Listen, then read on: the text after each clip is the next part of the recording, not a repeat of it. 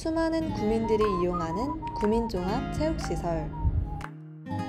평일엔 활기찬 이곳이 일요일엔 변합니다. 평일과 달리 한적한 체육센터. 새벽부터 많은 구민들이 찾는 체육센터에 운영을 원하는 구민들은 없을까요?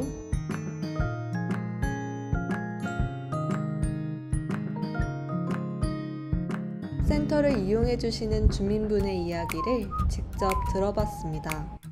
평일에 체육센터를 이용해 주시고 계시는데 네네. 혹시 주말에는 어떻게 이용하세요? 음, 주말에 저희가 운동을 많이 하고 싶어도요. 예, 주말에 이제 체육관 대관을 하지 않기 때문에 이제 좀 어, 운동 생활하는데 조금 음, 조금 부족한 부분이 있어서 예, 그런 부분이 조금 아쉽습니다. 그러면 저희 성동구 도시관리공단에서 만약에 일요일에도 이제 체육관을 이용하실 수 있도록 대관 운영을 확대하게 된다면 이용하실 의사가 있으신가요? 네네 당연히 이용 네, 할 의사가 있습니다. 네.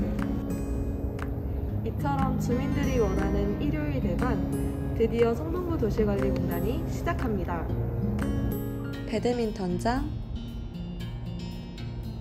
다목적 체육관, 볼링장, 스쿼시장, 마지막으로 풋살장까지 어떻게 운영되는지 쉽고 빠르게 설명해 드릴게요. 첫 번째로 성동구민 체육센터입니다. 성동구민 체육센터 스쿼시장은 기존 일요일 휴관에서 일요일 대관 운영으로 변경됩니다. 이용 시간은 일요일 9시부터 17시까지 이용하실 수 있습니다. 두 번째로 금호 스포츠센터입니다. 금호 스포츠센터 배드민턴장은 기존 일요일 둘째 넷째 주 휴관에서 일요일 대관 운영으로 변경됩니다. 이용 시간은 일요일 9시부터 18시까지 이용하실 수 있습니다. 마지막으로 서울숲 복합문화체육센터입니다.